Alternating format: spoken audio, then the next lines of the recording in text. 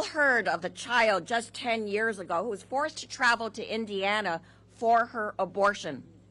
But I worry for the stories that do not make the news.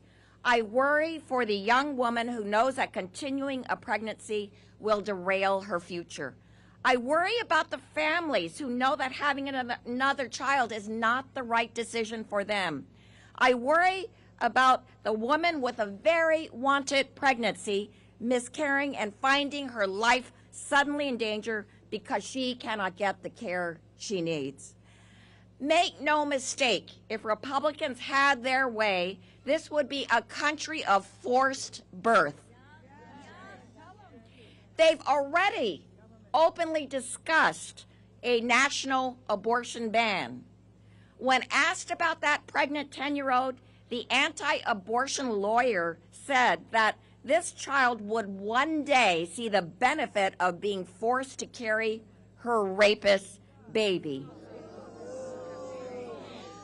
Can you imagine? They think it's okay that the 10 year old is raped as long as she produces a baby.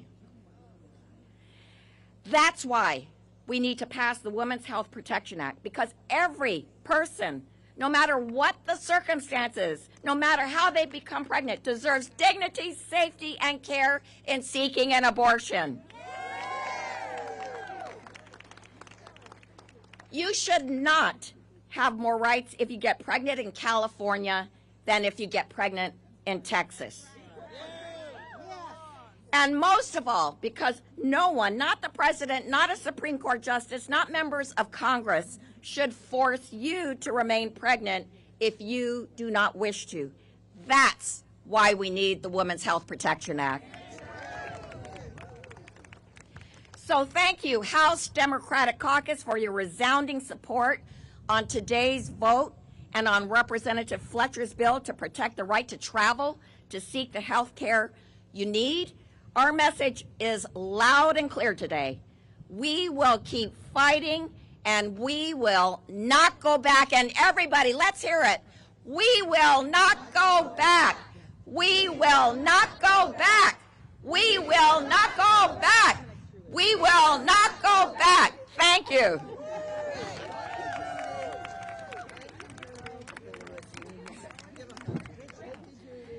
Thank you so much, Judy, for your leadership. And Madam Speaker, thank you so much for your leadership and all of my colleagues gathered here today. Um, it is in my beloved home state of Texas, we are in a crisis, a healthcare crisis and a humanitarian crisis. Since last September, as many of you know, access to abortion has been severely limited. And since last month, it has been eliminated.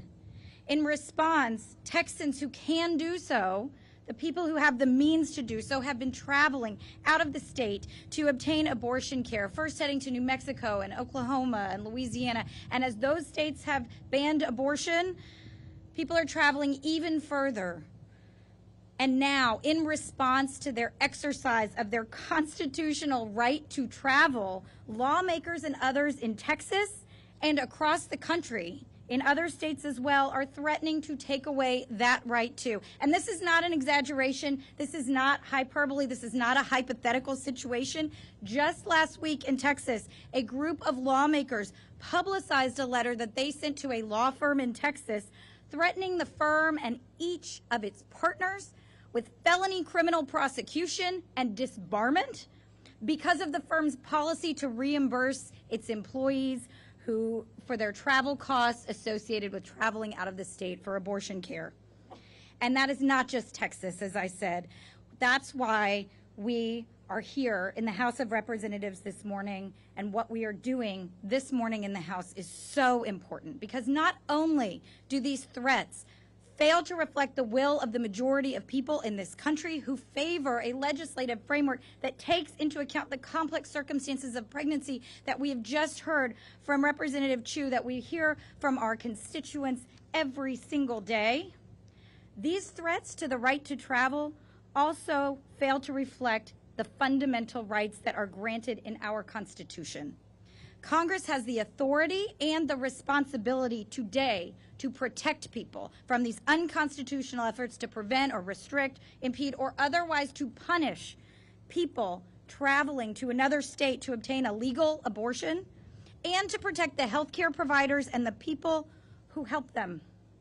This morning, we're doing exactly that in passing the Ensuring Women's Right to Reproductive Freedom Act, and we are protecting the health, privacy, liberty, dignity, and freedom of women and their families across this country in passing the Women's Health Protection Act. I couldn't be more proud to stand here with the Speaker, with our caucus, and I thank you all once again for responding with the urgency that is needed to the cruel efforts in my home state of Texas to deprive my fellow Texans and the efforts across the country to deprive our fellow Americans of their constitutional rights by bringing these bills to the floor today. I'm proud to stand with you, and I will stand here with you every day. And at this time, I would like to yield to my original co-sponsor in this bill, Marilyn Strickland.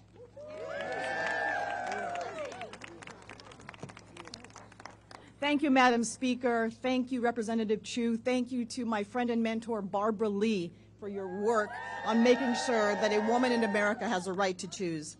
I am proud to be a co-lead of the Ensuring Women's Right to Reproductive Freedom Act with Lizzie Fletcher and Jamie Raskin. This bill does something that is very simple. It codifies the constitutional right to travel, including crossing state lines to get safe and legal access to abortion. Abortion will not disappear, but we want them to be safe and to be legal. The reality is that an increasing number of women are now forced to carry an unwanted pregnancy against their will, even in the cases of rape or incest, or travel hundreds of miles just to safely receive reproductive health care. We cannot force people to give birth. Worse, those who are forced to carry out an unwanted pregnancy are in the nation with one of the worst maternal mortality rates in the developed world. Taking away federal protections for abortion hits black women, women of color, indigenous women, low income women, LGBTQ plus women, and women with disabilities the hardest, disproportionately.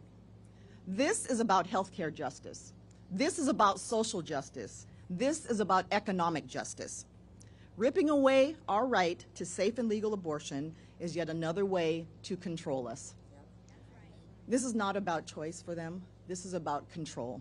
Controlling our bodies, policing our bodies, and controlling us. And make no mistake, we will do everything in our power to make sure it does not happen, not on our watch. Thank you.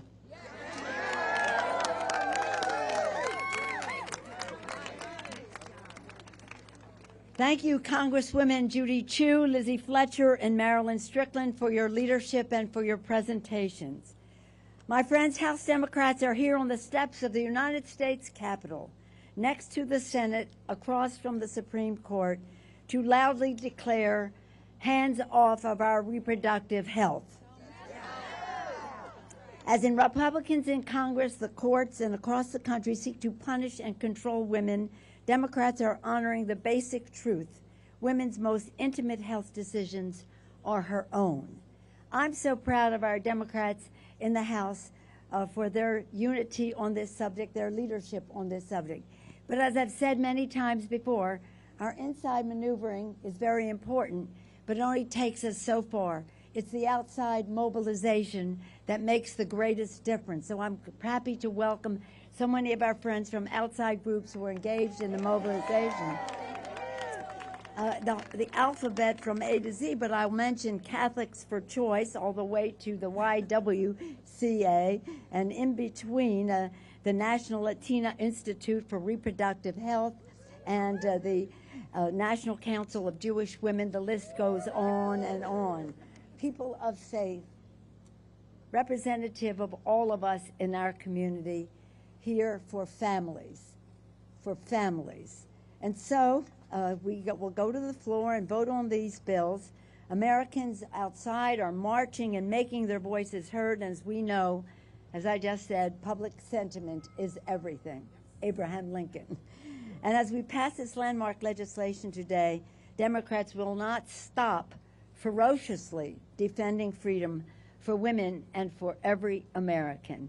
And we want everybody to know women out there who are concerned about their own personal reproductive freedom and what it means to their health. That from the, the message from the House Democrats and our groups here today is we are not going back. We are not going back. We're not going back.